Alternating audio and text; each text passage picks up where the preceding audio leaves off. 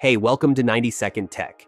If you're looking for an easy way to download Adobe Lightroom for free on your PC or Mac, you're in the right place.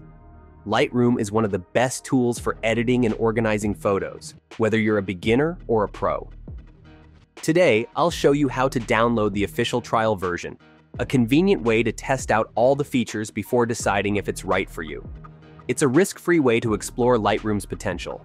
Before we proceed, check the link in the description. It'll take you straight to Adobe's official site, ensuring you get the latest version safely and securely. How to download and install Adobe Lightroom for free on PC and Mac Getting Lightroom up and running is quick and easy. Here's what to do. Visit Adobe's website using the link in the description. Sign in or create an Adobe account. If you don't have one yet, it only takes a minute. Find Lightroom in the Adobe app list and click Free Trial to start the download. Install Adobe Creative Cloud, which will handle the installation of Lightroom. Once it's installed, launch Lightroom, and you're ready to start editing.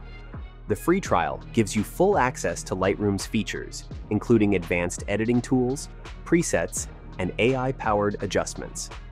This comprehensive trial allows you to experience the full potential of Lightroom so you can see exactly what it can do and get excited about the possibilities. Now that Lightroom is installed, here are a few things you can try right away. Import your photos, drag your images into Lightroom and start organizing them in albums. Use the auto adjustments. Let Lightroom's AI analyze and correct your photo's exposure, contrast, and color. Try out presets. Apply built-in presets to quickly enhance your images with different styles. Fine-tune with sliders manually adjust brightness, contrast, highlights, and shadows for full creative control. Use the healing brush. Easily remove spots, blemishes, or unwanted objects from your photos. Before you go, if you haven't downloaded Lightroom yet, click the link in the description and grab it now. The trial version is the safest and best way to try it out risk-free. If you want to improve your photo editing skills, subscribe to our newsletter for exclusive tips, software discounts, and in-depth tutorials. By subscribing, you'll be part of a community that supports your learning journey. You won't want to miss it. The link is below.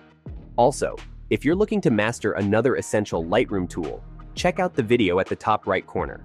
In it, we discuss how to use the histogram for perfect exposure adjustments. That's all for today. Enjoy exploring Lightroom, and I'll see you at the next one.